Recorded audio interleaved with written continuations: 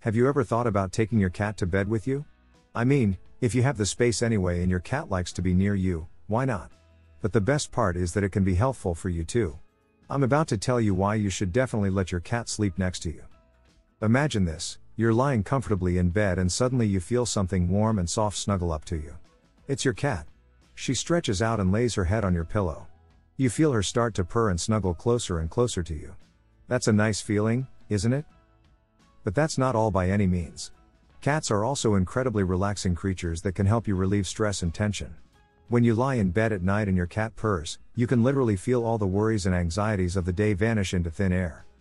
Studies have also shown that petting and cuddling with cats causes the body to release the hormone oxytocin, also known as the love hormone.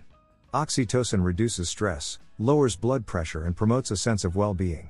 So, by cuddling with your cat, you'll even improve your health. And then there are those of us who claim that sleeping with a cat in bed is unhygienic. But hey, who said cats are filthy bacteria havens? If you take good care of your pet, there's nothing in the way. Besides, who needs a stuffed animal when you have a living, breathing, purring cat.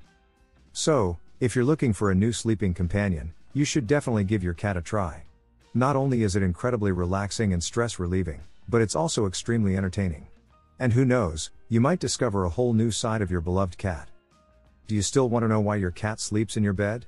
Then be sure to watch the video, which I link to you at this point.